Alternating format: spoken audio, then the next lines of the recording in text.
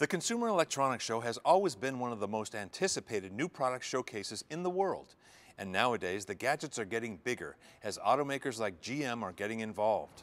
Automakers are here in force at CES, showing off great smart new technologies designed specifically for the car that'll help keep customers connected while on the go.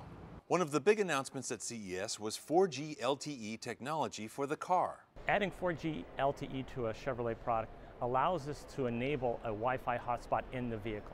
And what that means is that you can now have a high-speed connection in your car so that when people bring in devices like an, a tablet or, or a smartphone, it can connect by Wi-Fi. You can have two or three different video streams playing on the kids' iPads in the back seat.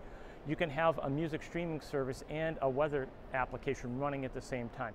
And while that's great for the devices you bring into the car, how about the car itself? The people over at Chevrolet announced a cool new performance technology feature for the 2015 Corvette. The Corvette Performance Data Recorder has a camera in the front of the car.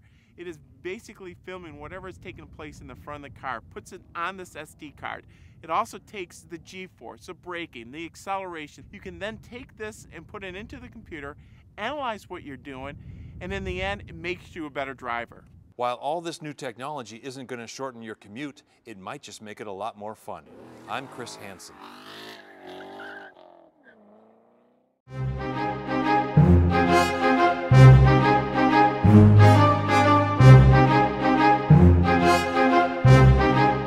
Thank